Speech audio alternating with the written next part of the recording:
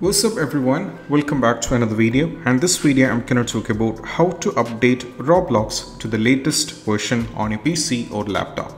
So let me directly get to the step. So the first one is all about, we just need to uninstall the Roblox and that's what you have to try. So just go over here, search for add or remove programs and you have to click on this one.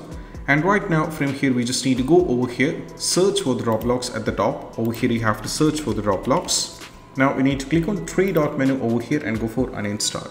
So the Roblox should be uninstalled.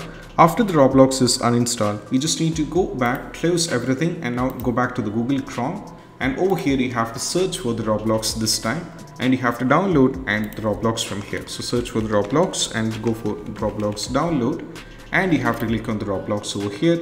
Now we need to download it.